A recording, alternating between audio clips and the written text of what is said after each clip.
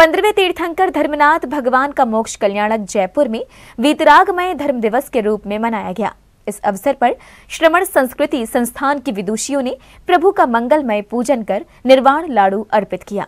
तेईस मई को जयपुर स्थित जनकपुरी ज्योति नगर के श्री दिगम्बर जैन मंदिर में पंद्रहवें तीर्थंकर, भगवान धर्मनाथ का मोक्ष कल्याणक, वीतरागमय धर्म दिवस के रूप में मनाया गया। प्रातः काल के अभिषेक के बाद सभी भक्तों ने पंद्रहवें तीर्थंकर, धर्मनाथ भगवान का पूजन कर निर्वाण कांड का पाठ किया। इसी श्रृंखला में श्रमण संस्कृति संस्थान की विदुषियों ने भी प्रभु का मंगलमय पूजन कर निर्वाण लाड़ू अर्पित किया।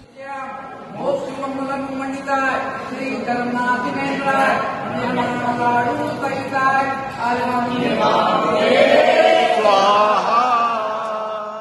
प्रभु के अभिषेक पूजन के बाद ग्यारहवें दिन की कक्षाओं का पदम पारस बिलाला परिवार द्वारा दीप प्रज्वलन के साथ शुभारंभ हुआ, जिसमें 120 से अधिक विद्यार्थियों की उपस्थिति रही। संस्थान से पधारे पंडित अजीत शास्त्री जी ने द्वादश वर्षीय पाठ्यक्रम के बारे में विद्यार्थियों का मार्गदर्शन किया। जैन फोकस के लिए जयपुर राजस्थान ऐसी ब्यूरो रिपोर्ट।